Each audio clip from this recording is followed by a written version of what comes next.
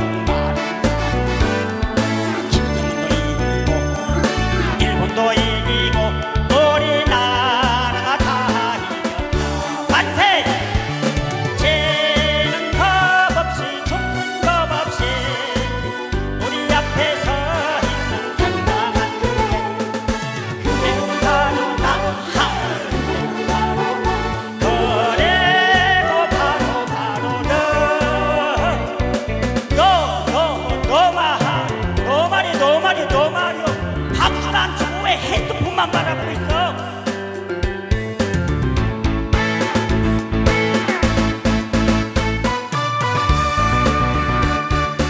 영화에서의 엄청난 것만. 총알이 깃발처럼